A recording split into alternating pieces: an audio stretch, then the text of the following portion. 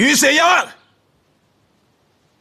你果然是个只会躲起来打冷枪的懦夫。有本事，像个男人一样，和我来一场公平的较量。公平？你拿着刀砍杀手无寸铁的老人？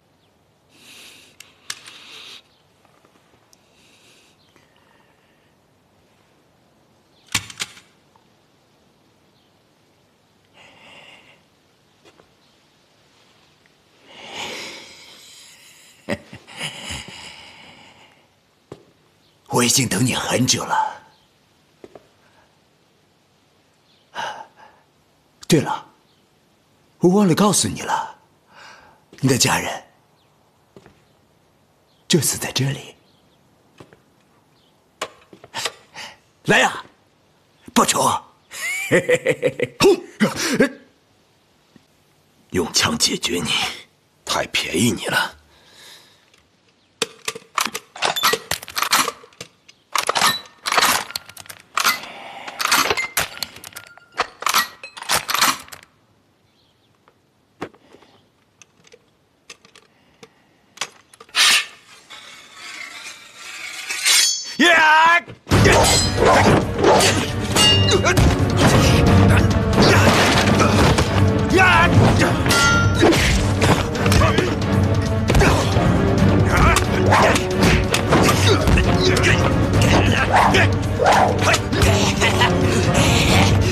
别着急，一会儿你就能全家团聚了。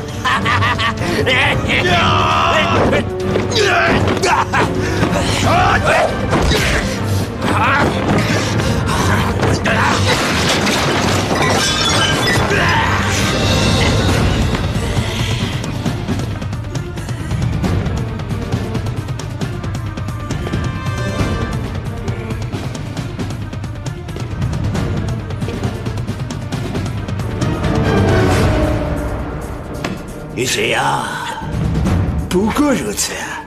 哈哈哈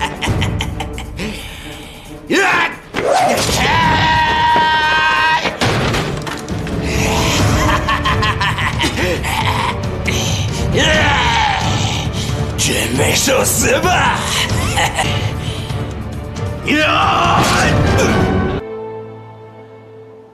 就在这样一片血雨腥风中，一个死里逃生的士兵，尾随日军京都师团从南京来到苏州。他就像一匹孤独的狼，潜伏在苏州城中的一片废墟里。家，更何况还有数十万同胞的鲜血。所以，他的心里装满了仇恨，他要用一颗颗子弹，让日寇血债血偿。他叫于显阳，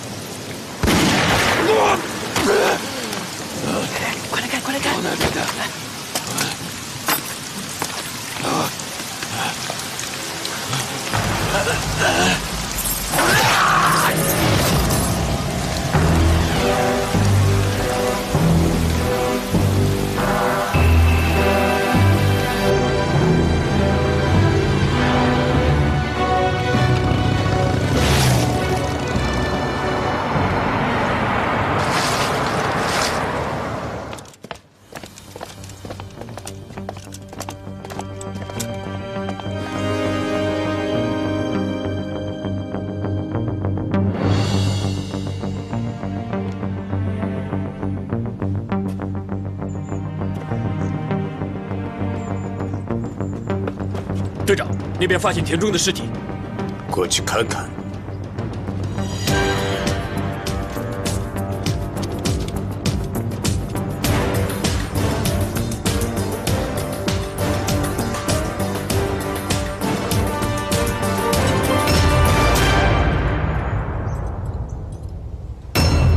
我不得不遗憾的通知诸位，我军在南京的所作所为，让那些讨厌的西方记者盯上了这座城市，所以我决定把司令部以及和中国方面的秘密会谈地点迁往苏州。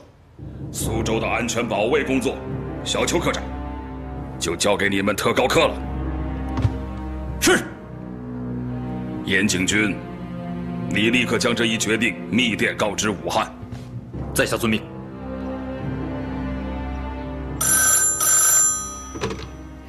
是哪位？我是小邱科长。渡边队长，苏州的情况还好吗？出现了一个凶手，一直在暗杀我们的士兵。有线索吗？我有一点点发现。不幸遇碎的帝国军官。被凶手摆成谢罪的姿势，实在是令人难以理解。有什么难以理解的？这说明凶手是来复仇的。你想办法设个圈套，把凶手逼出来，干掉他。是。多谢小邱科长的指点。你们还不晓得吗？不光我们苏州，就连南京已经被黄金占领了。那就是说。大家只有老老实实的给黄军当顺民，才会有好日子过。但是，居然有人胆大包天，竟然敢一而再、再而三的伤害皇军士兵，这简直是罪无可赦！皇军有令，你们要一个个的上来给皇军的灵位磕头。还有，立刻交代凶手在哪里。凡是主动交代的，皇军大大有赏。哎。都听清楚啊！晓得的快讲。秋官哥哥，犯人はこれでしょうか？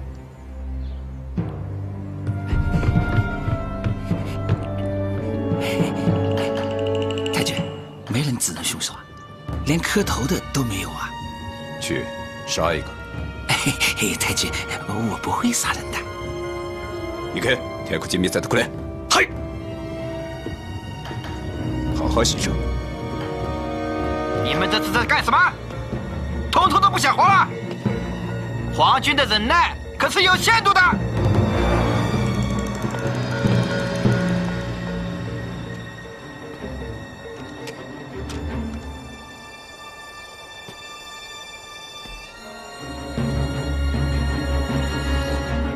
快上来。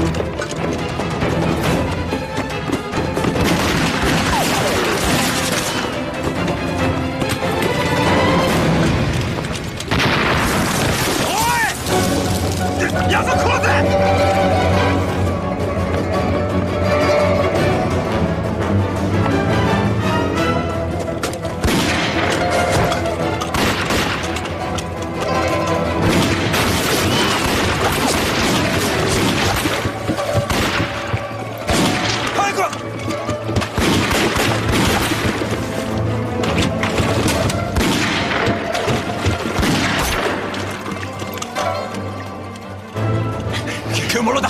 おい！早く！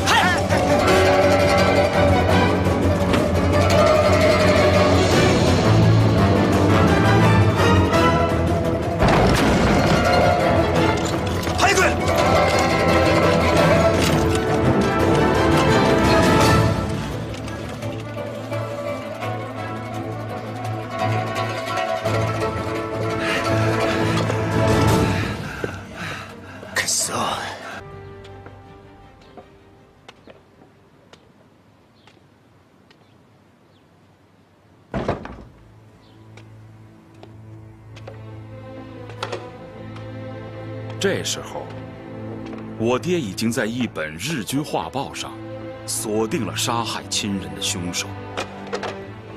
为了把元凶逼出来，他到处打伏击，不断的狙杀日寇。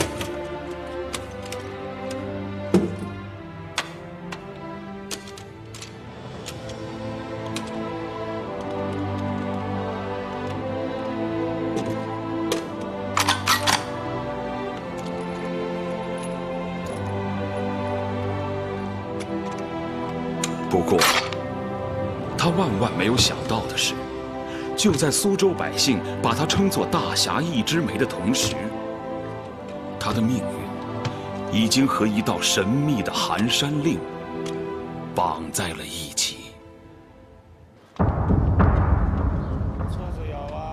王八子，王八子，王八子。那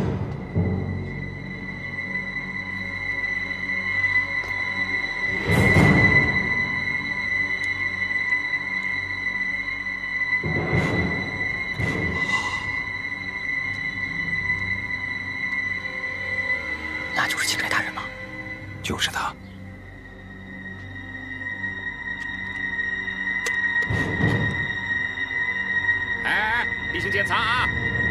把箱子打开啊！例行检查啊！哎哎哎，那你打开箱子，听到了？这里面都是衣服，叫你打开就打开，哪有那么多废话？打开。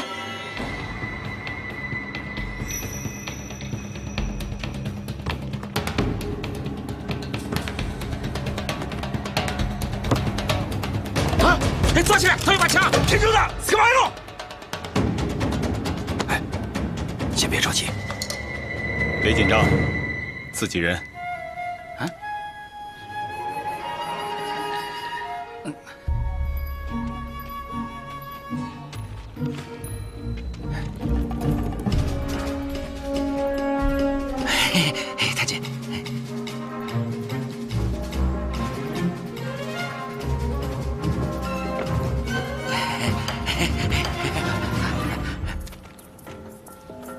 哎，我帮你收好啊。不用。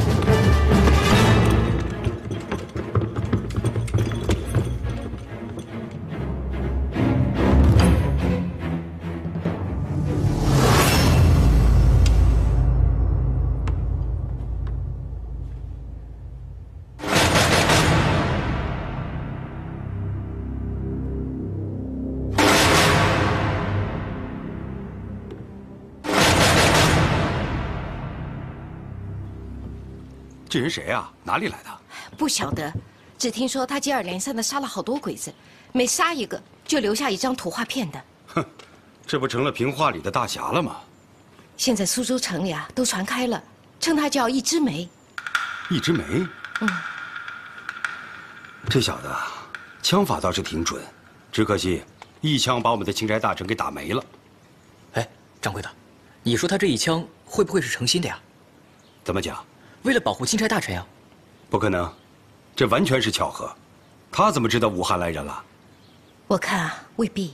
你想啊，这码头上鬼子的阵势，可能是走漏了风声了吧？我倒觉得鬼子是冲一枝梅去的。再说刚才看码头的情形，小鬼子还不知情。要真是走漏了风声，不就直接抓人了吗？那倒也是啊。不管怎么样，我们都得赶紧把人找回来。一是上级给我们下了死命令，二是这苏州城里乱糟糟的，太危险了。掌柜的，可这一枝梅这样一闹腾，我们上哪里找人去？三嫂，我去大先生那里。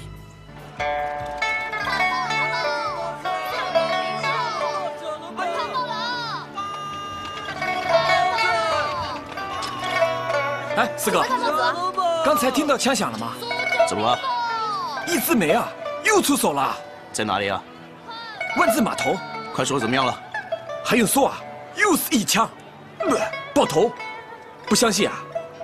我实话告诉你，其实啊，当时我就在旁边，看得一清二楚。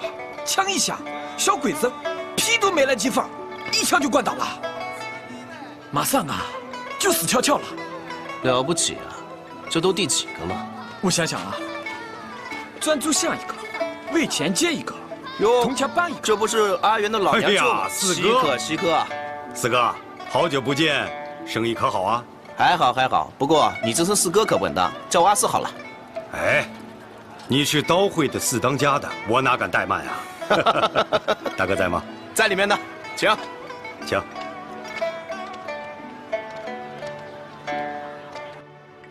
天海水母，风山迢迢，那一枝梅孤单单一点憨厚，身负血海深仇，却是穷途末路，满腔悲凉。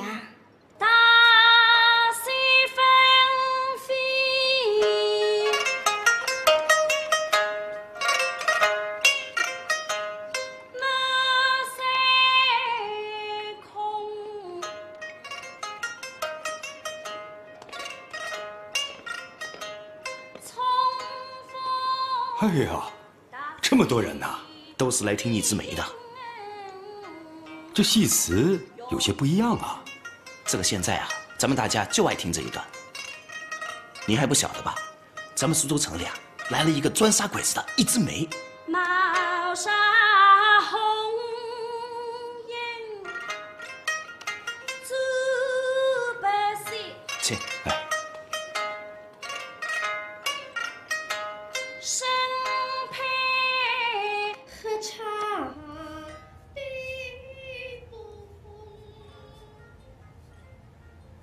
这是个什么人物？上面说，是上校特派员。官还不小啊！大哥，我这回可是丢人现眼了。人要是在我的手里边没了，我怎么跟上级领导交代呀？嗯，你先不要担心。阿四啊，你把兄弟们都撒出去，啊，这酒楼啊、旅店呀，看看有没有陌生面孔，千方百计要把他找出来。嗯，晓得了。谢谢大哥。啊，阿四，你费心了。哎，不值一提，小子体。你放心，大家都是自己人。别说我们刀会，这苏州城里的老百姓都盼着你们打回来呢。大哥，我们新四军已经向皖南集结了，上级领导指示我们要尽快的发展抗日根据地，迎接大部队东进。太好了，郭掌柜，要不先帮咱们搞几条枪吧？咱们手无寸铁，拿什么和鬼子拼啊？哈是啊，你是哪壶不开提哪壶，你又不是不晓得，我们支队现在是平均三个人两条枪，有一条还是废的。不过，我刚刚搞了一个修枪所，只是现在愁的不晓得上哪里找师傅去。人家一枝梅杀了一个又一个，咱们倒好，眼巴巴的干看着。说到这一枝梅啊，我还真是好奇，这小子到底是什么来路啊？大哥，咱们刀会里的人也不知道。这个人啊，独来独往，行踪诡秘。嗯，神龙见首不见尾。哈，哈哈，还真是一枝梅啊！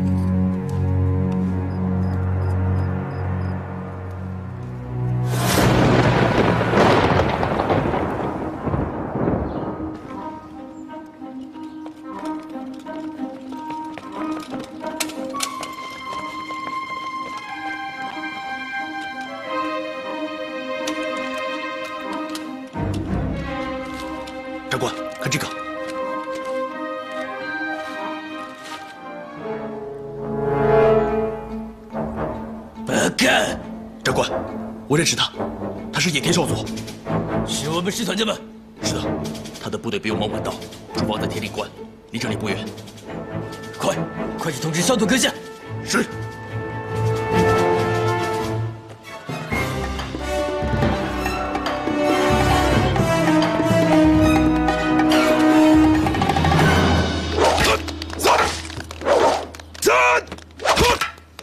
少主的刀法真是厉害。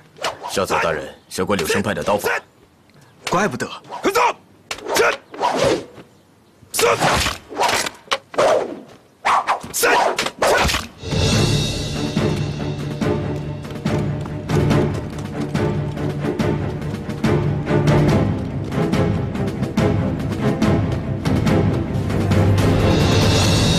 少佐大人和渡边大人比赛杀人的事，还上过报纸呢。真的。上面说，少佐杀死一百零五人，渡边大人杀死一百零六人，那可真是了不起啊！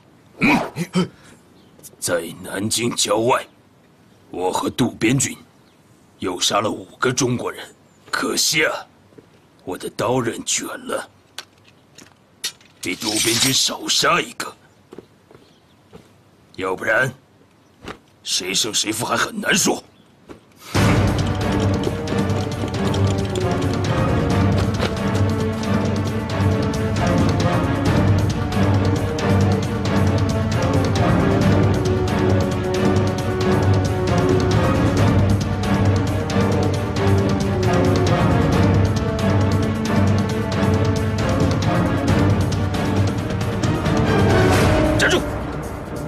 找野田少佐。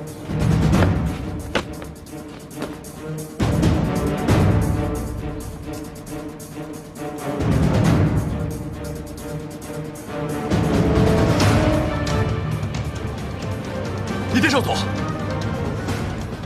请您看看这个。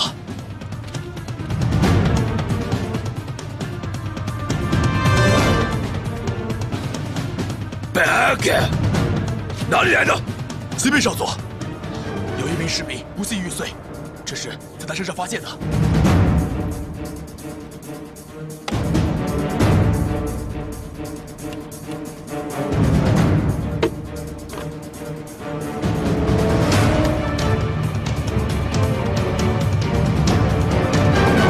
最近苏州城发生了许多暗杀事件，简直岂有此理！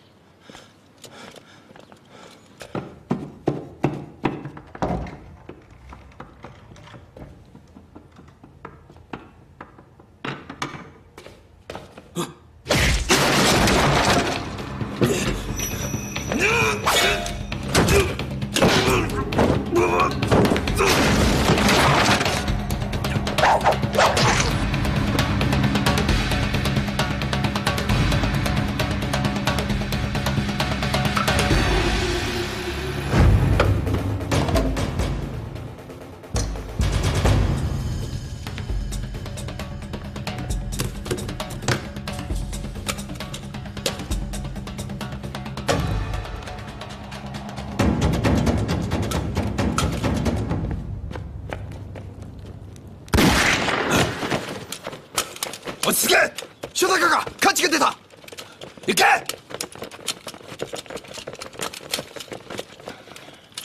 バカ。いきになりやがって。もうし分ろやつを逃がすな。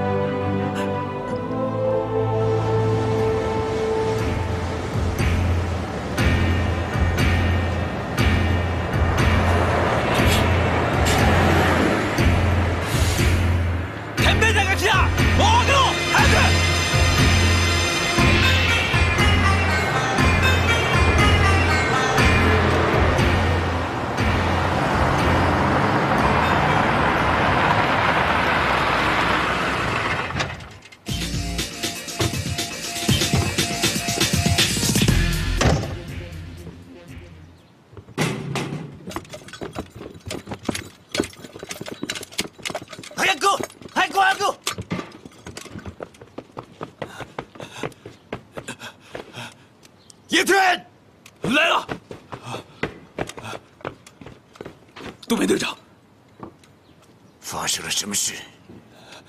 对不起，是我一时疏忽，让敌人让敌人溜了进来。敌人来了多少？一个人，一个，难以理解。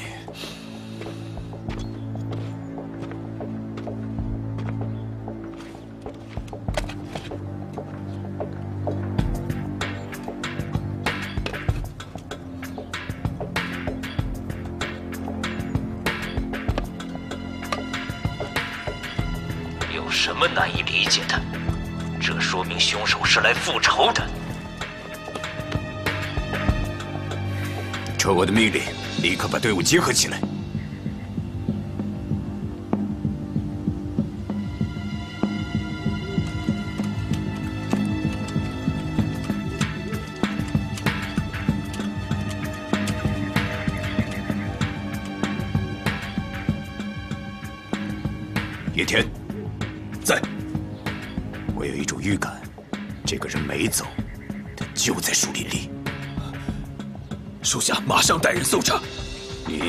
分两路，左右包抄，我单独去会他。嗨，我来了，我林死开。管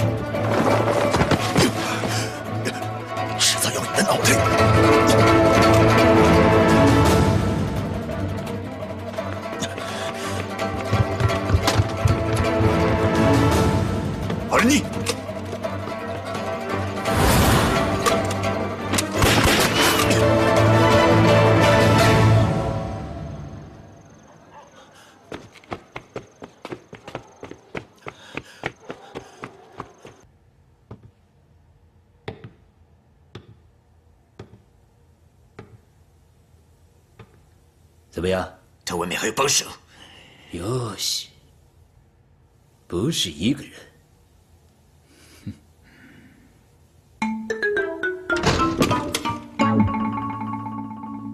克索，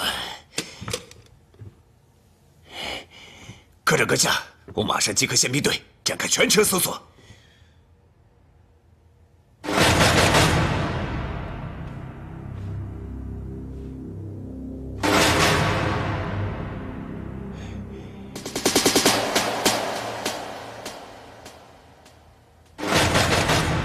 苏州城的所有医生抓起来。是。我觉得刚才那位可能就是那个易之梅，他这么一闹腾啊，鬼子绝对不会善罢甘休的。我看，你那个旅馆是住不成了。那你给我找个地方。我姐家就在这附近，要不你先去那儿住一个晚上。等明天，咱们见到大先生以后，再从长计议。行，我呢就听你的安排。好，走吧。哎，哎！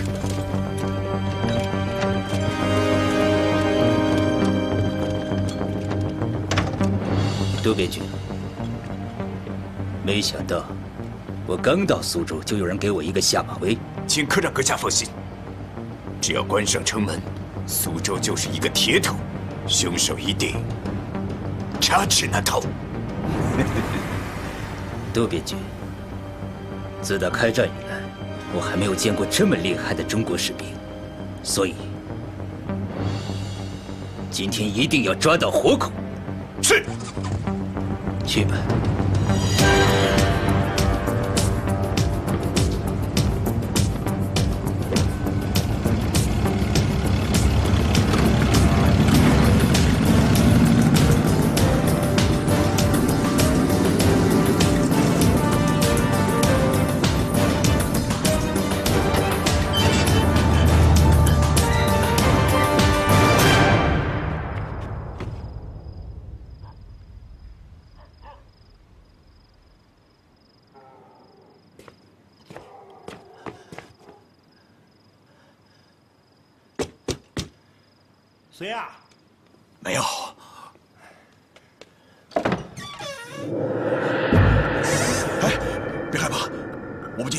拿了药我就走。有吗啡吗？没有没有，吗啡是违禁品，我们这里买不到的。哪里能买到？你可以去仓门外看看，鸭蛋桥附近有东洋次郎，他们专门倒卖这个。哦，东洋次郎就是日本浪人，他们都是从满洲那边过来的。你伤的可不轻啊，赶快去吧。往西一直走就是仓门。谢了。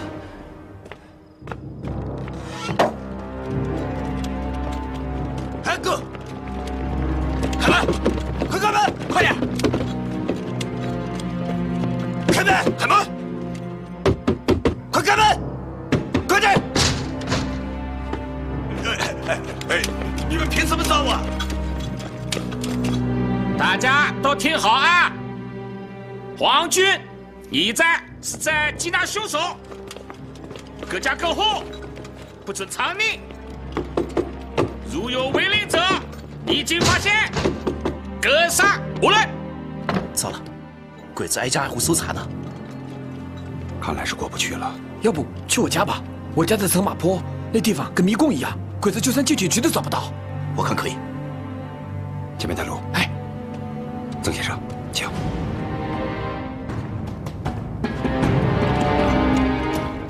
开门！开门！开门！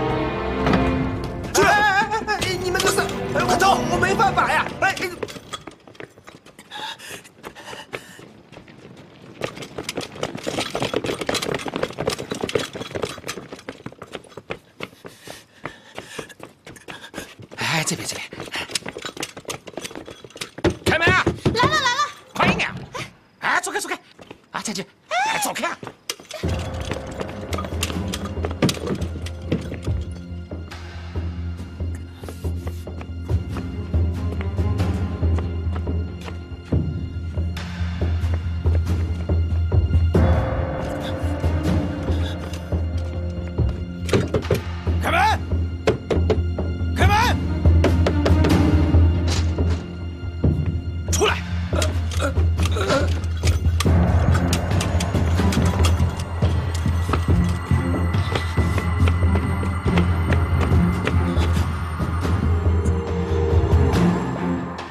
君问你们有没有见到过什么陌生人啊？没有没有没有没有没有啊？没有没有啊？没有没有没有没有，进去。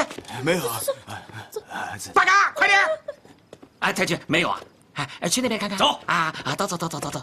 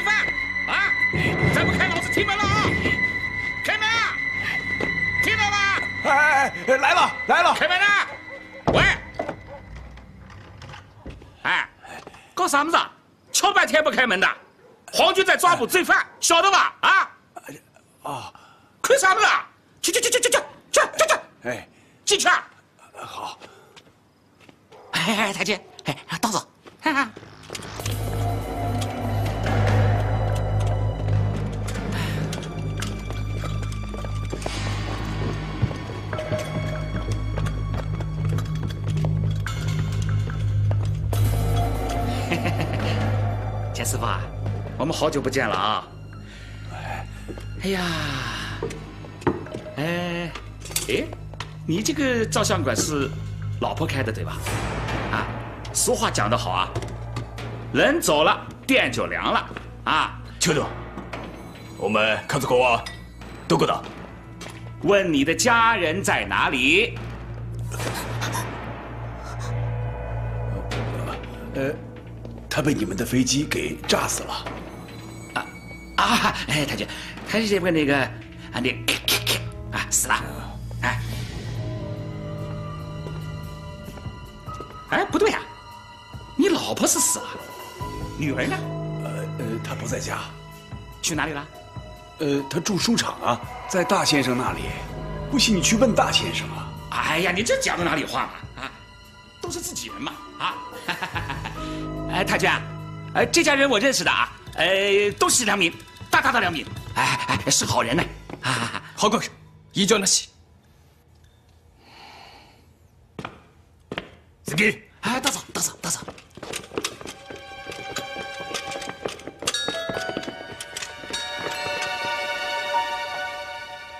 很多年以后，父亲告诉我，他永远也忘不了这个夜晚。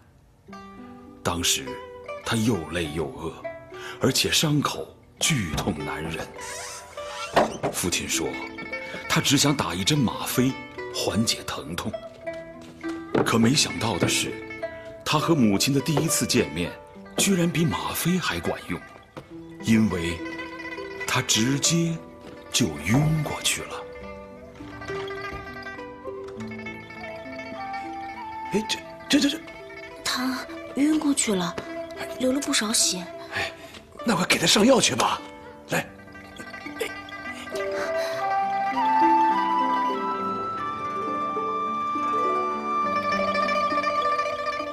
爹，幸亏你在家里备了金疮药。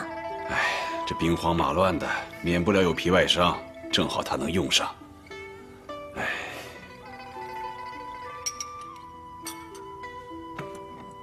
今天，这也多亏老娘舅。给咱们砌了这道夹墙，不然就麻烦大了。原来你还知道麻烦呢。爹，救人一命，功德无量嘛。再说，这不是有惊无险吗？哎，爹，嗯，你说他会不会就是那个一枝梅啊？别一枝梅两枝梅的，你告诉我，你打算拿他怎么办？就让他住在家里啊？那他能去哪里啊？外面鬼子那么多。他又伤得这么重，不行。等他醒了之后啊，马上把他送出去。爹，阿元，你就让我省省心吧。那要不，让他去我老娘舅那里？哎，你搭错点了，你老娘舅在阳澄湖啊。他来苏州了。来苏州了？你怎么晓得？昨天他去书场找大先生。我刚好在台上就看见了。哎呀，你说，这苏州城兵荒马乱的，他他他，万一日本人要是把他……爹，你又不是不晓得我老娘舅的本事，一手一把快慢机，想打哪里打哪里。哎呀，你看你这个样子，一个姑娘家，成天打打杀杀的，你说像什么样啊？哎，算了，不讲这些了。哎。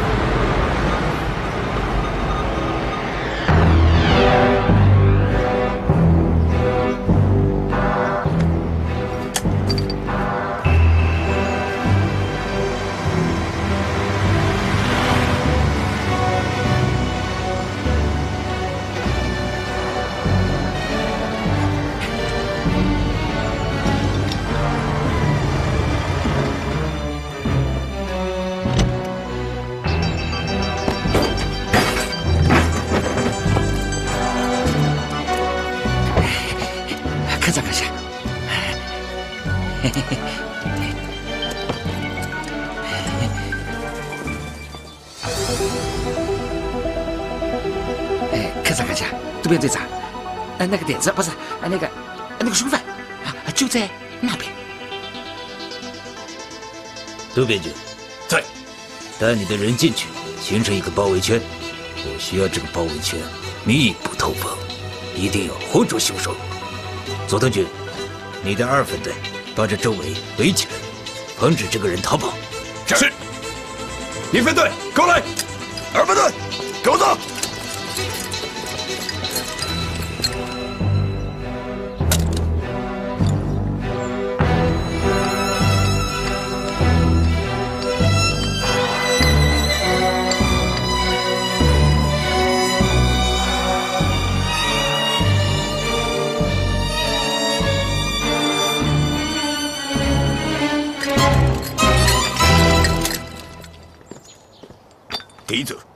左一，是是。第二组，右一，嗯，行动，是是。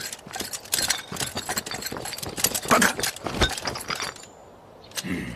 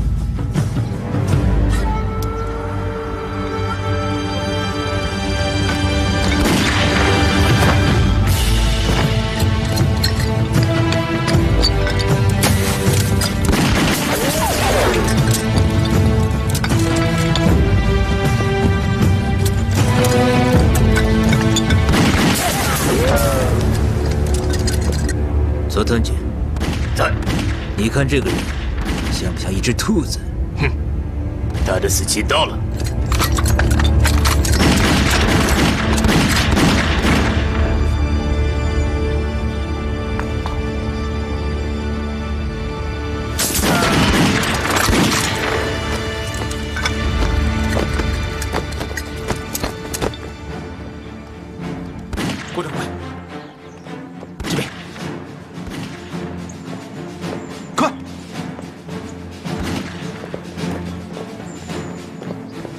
顾掌柜，哎，里面情况怎么样？你们可来了，里面打起来了。阿森，这附近有制高点吗？有，在哪里？前面，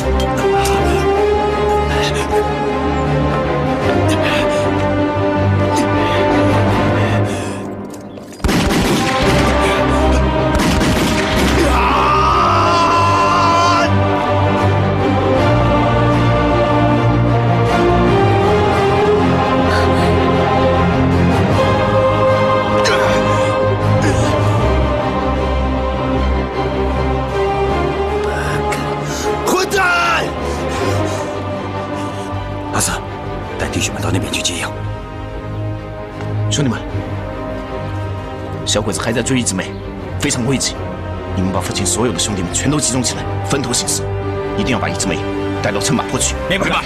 走走。哎，去哪里啊？去乘马坡啊！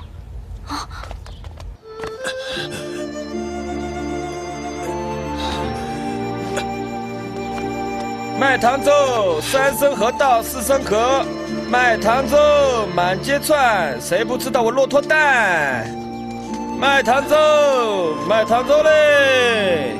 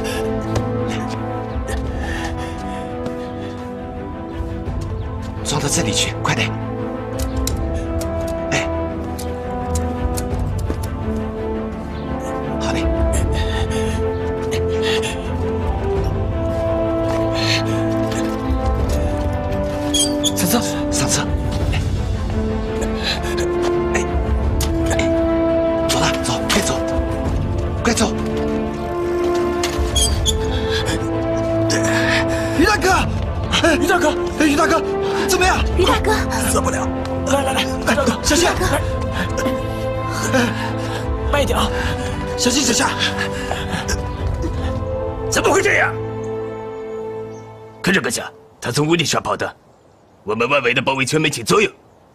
不，他对苏州不熟悉，不然不会躲在废墟里。我想，肯定有人接应他。前面是什么地方？前面叫车马坡，里面有好几百户人家。什么？我不会让你逃跑的。传令下去，包围车马坡。是。科长阁下，以我们宪兵队的人数，无法形成包围圈。那就把部队调过来。是是。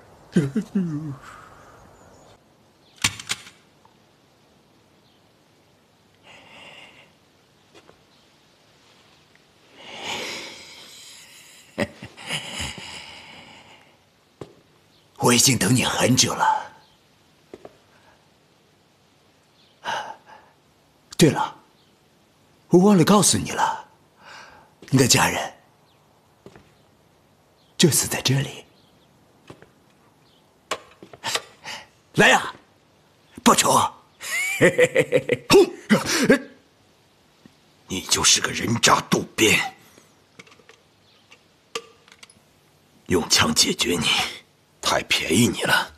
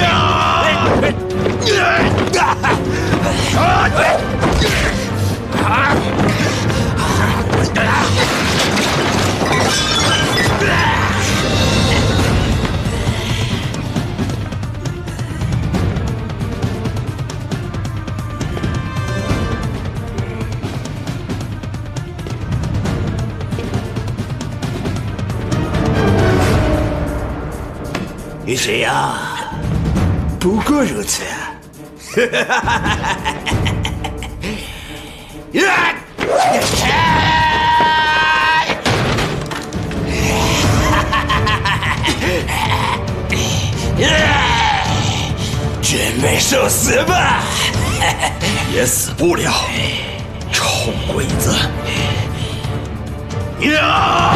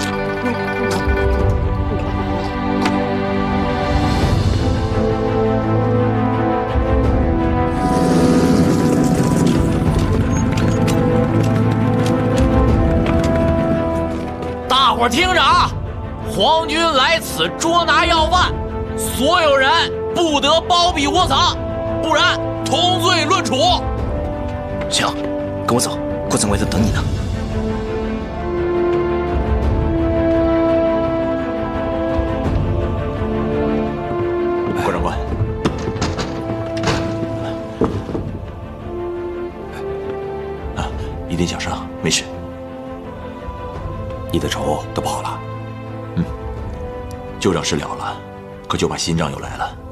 松井这个老鬼子，为了石碑，正派兵四处搜捕我们呢。这松井这老鬼子怎么就不死心呢？非要把这个石碑给弄回去啊？这老鬼子动作还挺快。这两块石碑，还是太扎眼了。要不，我们化整为零？怎么讲？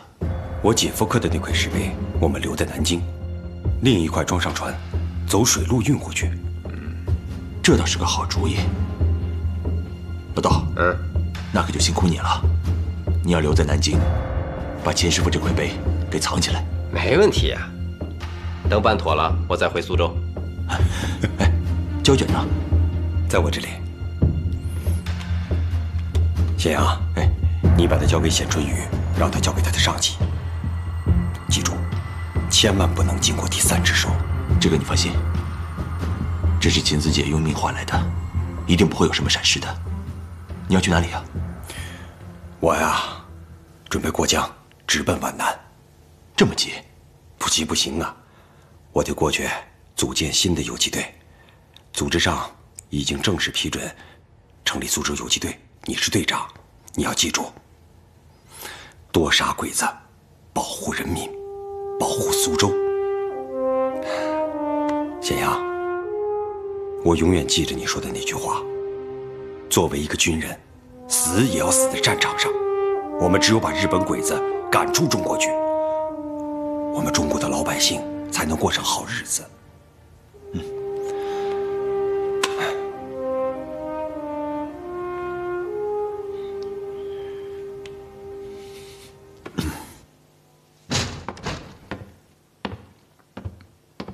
司令官阁下，时间已到，我们启程吧。知道了，你先去吧。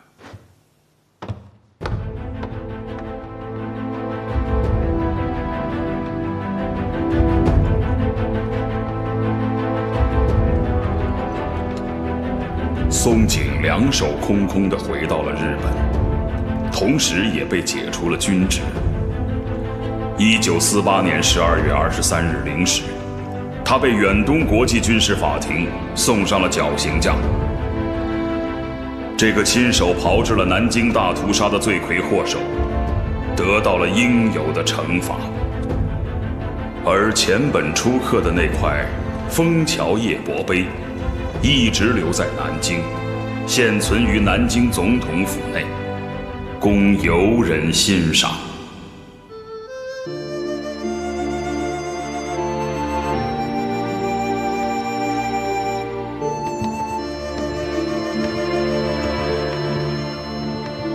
春云姐，路上小心些，多保重。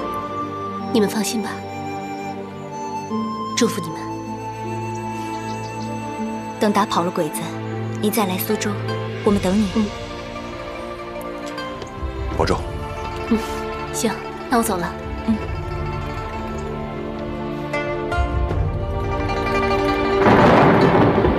由于松井炮制的武汉作战计划泄密。导致日军所谓的初夏攻势土崩瓦解。一九三八年六月十五日，日军大本营不得不重新制定新的对华作战方案，而我方则赢得了最为宝贵的时间，不但在重庆建立起了新的大后方，而且使艰苦卓绝的八年抗战进入了关键性的相持阶段。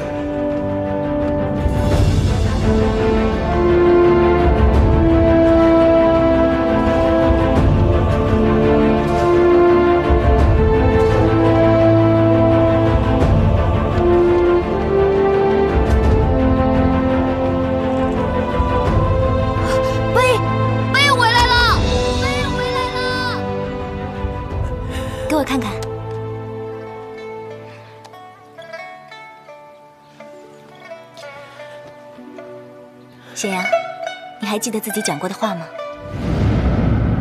等把小鬼子赶出中国去，我就卸甲归田，继承你父亲的手艺。到时候，我一定找一块大大的石碑，把他们的名字全都刻在上面，让咱们的后代永远记住他们的名字。走。